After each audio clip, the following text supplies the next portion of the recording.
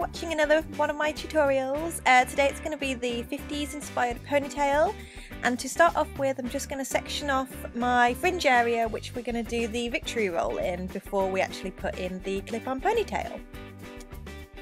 So I've basically sectioned off my hair from the peak of my eyebrow to the other eyebrow and I'm just going to pin this out of the way so it doesn't get involved when we do our ponytail. So I'm just putting up a pretty basic ponytail. You can do a low one or a high one, depends what kind of look you want to do. Um, but just keep it nice and smooth and what I like to do is use hairspray in between and layer up that coverage so that we take care of all of those flyaways. To do this I'm using my Denman Grooming brush and I'm using Sexy Hair Get Layered Hairspray.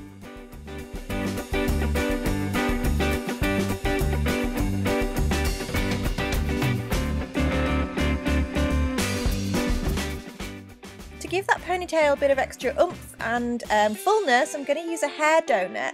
And I'm actually only pulling through half of my ponytail through this. I just find it helps keep everything a little bit more neater and in place rather than having the ends of your hair coming out.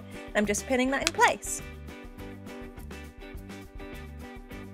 This ponytail is the Sleek EZ ponytail. It's human hair so I can dye it to match my own colour. As you can see it's got two little prongs on the top and underside of it and you can also drawstring it so it goes a bit more round so it's easier to fit over your hair donut. So as you can see I'm just clipping in that top prong just behind my hair donut and underneath as well. And then to keep it really secure, I'm going to use two bobby pins either side and I'm just fixing the underneath of the weft of the ponytail to my own hair so it really stays in place. And I'm going to do the same at the back as well.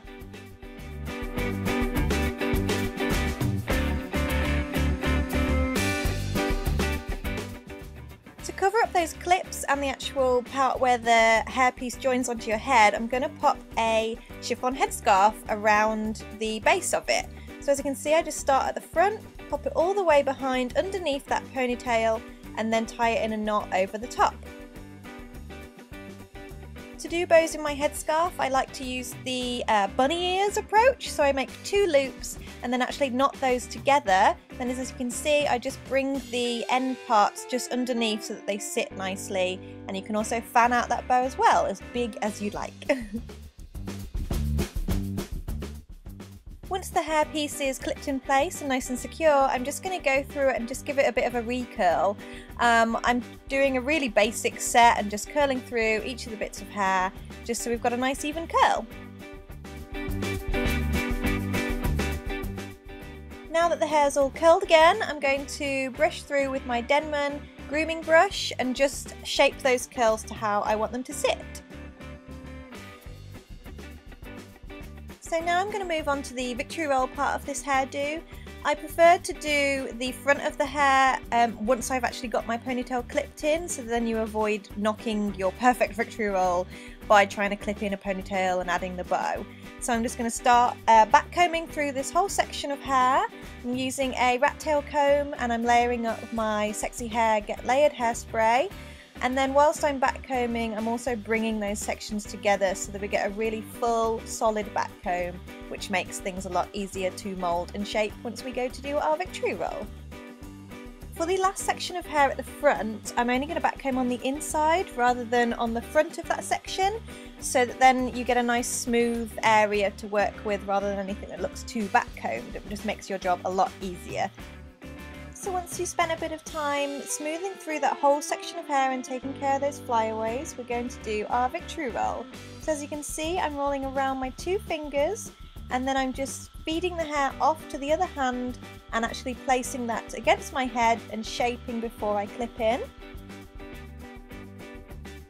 I'm just going to show that one more time so you can get a good view of the technique I use for this in particular victory roll.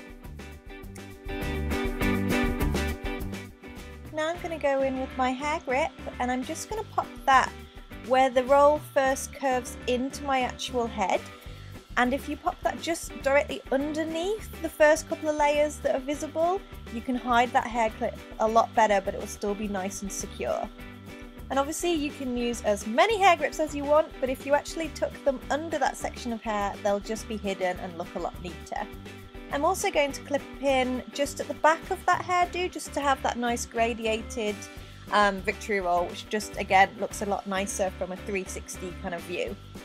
And then spend a little bit of time smoothing with my fingertips and my hairspray just to get a really really nice smooth gorgeous looking victory roll. So here's the finished look. Uh, really simple to do, really quick. All you need is a little clip-on hairpiece. You can use human hair ones or synthetic ones. They all look really cute and it's just a great hairdo for everyday pin-up kind of look.